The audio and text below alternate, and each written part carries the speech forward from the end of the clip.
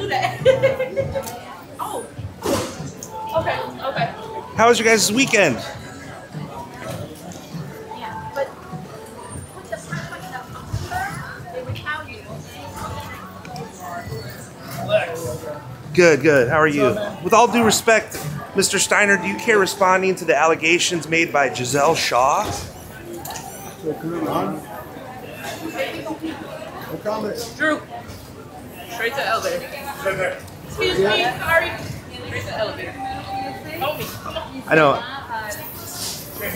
Um, a lot of people will say, you know, with you, you not commenting on it, they'll say silence is violence. Do you agree with that?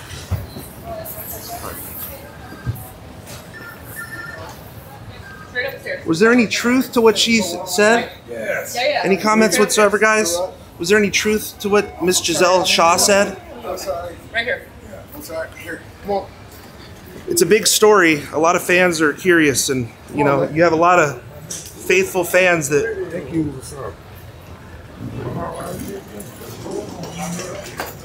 Any comment at all, Mr. Steiner?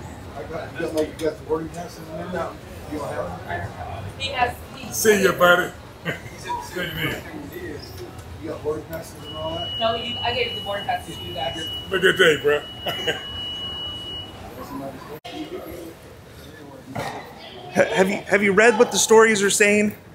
Gisele Shaw says what you gonna do with Scott? I'm gonna, we're going to, okay. Gisele Shaw says you bullied her for being a trans person. Did you do what? Come on. Was there any truth to that story, guys? Thank you. Good evening, man.